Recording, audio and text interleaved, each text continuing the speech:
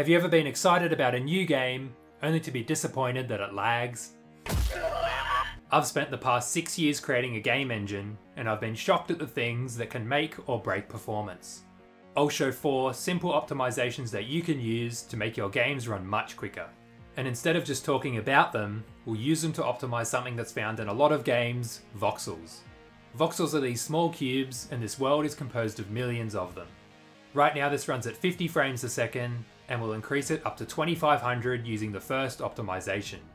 If we render these voxels one at a time, we would render this map at one frame a second. That's the opposite of optimization. So instead, we'll group them into chunks of 32. All these voxels now share the same mesh, which lets us render all of them at the same time. We can then combine more chunks together to create a larger world. This works, but it renders very slowly, so let's start optimizing it. If we have a look at the mesh for a chunk, and then zoom in further into a voxel, we can see that it's composed of 12 triangles. That means the entire world is composed of 115 million triangles. The less triangles we have, the faster our game will run, so let's get rid of some. If we look at these two voxels, there's four triangles between them that we'll never be able to see.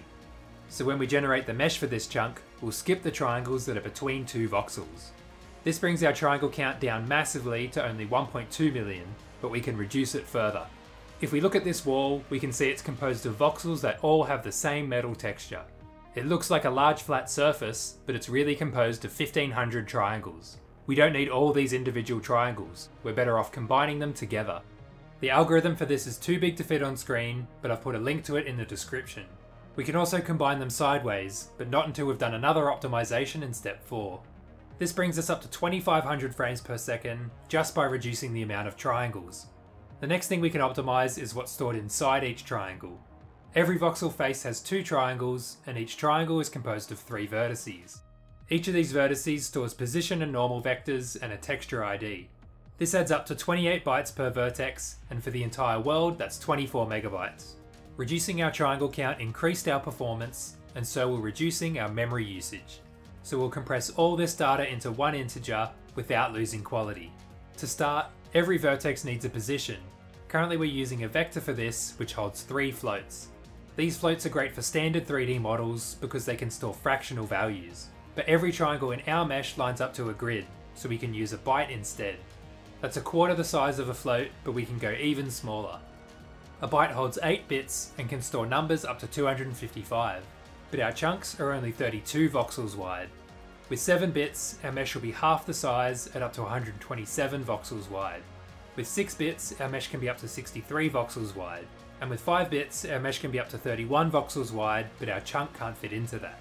So we'll use 6 bits for each of the X, Y, and Z positions. We can reduce this further, but not until we've done another optimization in step 3. Each vertex also stores a normal vector, which helps us calculate lighting and other effects. This vector stores the direction that each triangle is facing. For example here, all the green triangles are facing up, and all the red triangles are facing left. Since voxels are cubes, there's only 6 possible normals they can have. So we'll store the number 0 for up, 1 for down, 2 for right, and so on. Then in the vertex shader, we can turn this number back into a vector. We can fit these 6 directions inside 3 bits, which is a huge saving. Lastly, each triangle contains a texture ID, which tells the shader which texture to apply. We only have 70 unique textures, so we can store this ID using 7 bits.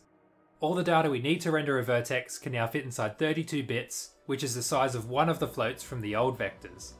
But the vertex shader needs to know how to unpack this data into its separate components. We'll use bit masking for this. The top row here is a mask and matches the number after the AND symbol in the shader. When we apply this mask to our vertex data, we get a new number with only the bits that line up with the mask. To unpack the rest of our data, we'll shift it to the right and then apply the mask again. We now have all our data and can run our shader as usual, but all the chunks are overlapped in the same position. That's because every vertice's position is now in the range 0 to 32. So we need to tell each chunk where it is in the world. To do this, we'll create a world position uniform in the vertex shader and update it before drawing each chunk. The vertex shader then adds this world position to the vertices position. Our world now renders correctly and our memory usage is down to 3.4 megabytes. This increased our frames a second up to 4000 just by reducing the memory usage. But we're still storing more data than we need to. If we look at this wireframe, every voxel face has 6 vertices and 2 of them have the exact same position. Storing the same data twice feels like a waste. Can we render a voxel face with only 4 vertices instead? Currently these triangles are rendered individually, which means we need 3 vertices for each of them. But OpenGL also lets us render triangles as strips, where each extra vertex builds a new triangle off the last. The problem is, everything gets joined together as one long strip. I thought surely there's a way to tell OpenGL to start a new strip every 4 vertices, but I couldn't find anything. But I found an even better solution. When games render particles, they use instancing. They have a base particle model and a list of positions, and then OpenGL draws this model at all of these positions. We didn't have to create a huge mesh with all these particles in it. And even better, each particle is a triangle strip and they're not joined together. So we'll use instancing to render our voxels. We'll have a base model for the voxel face, which has only 4 vertices. And then instead of a list of positions, we have a list of our 32-bit voxel data. This voxel data contains everything we used to store in the mesh, but rather than storing it 6 times for each face, we only have to store it once. But when we render the world, everything is facing up. That's because our base voxel model is facing up. We need to rotate it based on the face direction. In the vertex shader, if the face is up, we'll lift the model up. If it's facing left, we'll rotate it to the side, and the same for the other directions. But if we look at the world, we still have all these gaps. That's because earlier we combined our triangles together and we're no longer storing how long each combined face is. We need to store this length, but we don't have room for another 6 bits. Thankfully now that we're using instancing, we can reduce the size of our position data. Before we had to store positions in the range 0 to 32, which is 33 unique numbers but since our base voxel model is already 1 unit wide, we only need to store positions up to 31. 5 bits can store exactly 32 unique numbers, so we're in luck. We also only need 5 bits to store the length, because each combined face can be up to 32 voxels long. Now in the vertex shader, we could use this length value to stretch out the base voxel model. This reduced our memory usage by a factor of 6, down to 580 kilobytes. That's because we're only storing one vertex for each face instead of six. Also, the vertex shader only runs four times for each face because we're using triangle strips. Together, this increased our frames a second up to 6500, and the next optimization will increase it even further. To render this world, we're sending all these commands to the graphics card. This is typical for a game, but we can replace them all with just one. To do this, we need to change the way we store our data. Right now, each chunk has its own list of instance data in its own buffer. This means we need to ask the graphics card to render each of them, one at a time. Instead, we can create one huge buffer and give each chunk a small portion of it. To render a specific part of this buffer, we can use the longest OpenGL function ever created. The first two numbers refer to the four vertices in our base voxel model. The next two numbers refer to the start and length of the part of the massive buffer that we want to draw. If we want to render multiple parts of this buffer, we could repeat this function. But now we're back to multiple draw commands. We could just render the entire combined buffer, but that would render chunks that are outside our field of view. We only want to render chunks that we can actually see. So what we'll do instead is store these parameters in a special kind of buffer called an indirect buffer. Then we can use the second longest OpenGL function to render them all at the same time. But when we draw them, we have that issue from before where they're all overlapped. That's because we can't use shader uniforms anymore to position each chunk. To fix this, we'll use another buffer called a shader storage buffer object. We can store anything we want in this buffer, and in this case we'll store the world position of every chunk we're trying to draw. Each of these commands has a unique ID called GLDrawID.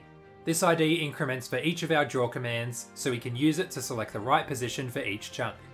We're now rendering the entire world with one draw command, which increased our frames a second up to 12,000. That's because our CPU spends hardly any time telling the graphics card what to do, and the graphics card has a huge command it can focus on. But 12,000 frames a second isn't the limit. Now that we're using one draw command, we've unlocked two bonus optimizations.